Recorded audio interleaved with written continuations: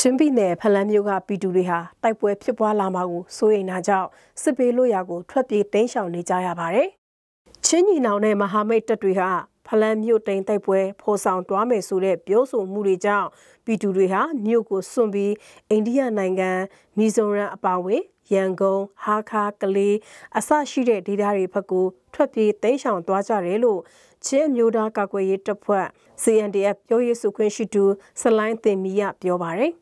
တိုက်ပွဲဖြစ်ပွားလာမှာကိုစိုးရိမ်တာကြောင့်ဇွန်လ30ရက်နေ့က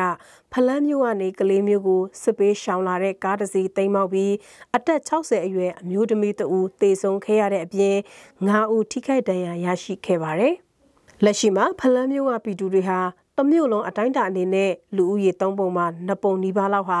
စစ်ပေးရှောင်တွားကြတယ်လို့ဆိုပါတယ်။ ဖလန်းမြို့ကိုချင်းညီနောင်နဲ့မဟာမိတ်တပ်တွေကတိုက်ခိုက်သိမ်းပိုက်တွားမယ်လို့ပြည်သူအချင်းချင်းကြားမှာကြဲကြဲလောင်လောင်ပြောဆိုမှုတွေရှိနေပေမဲ့လည်းမြို့တိန်တိုက်ပွဲနဲ့ပတ်သက်ပြီးချင်းညီနောင်နဲ့မဟာမိတ်တပ်တွေက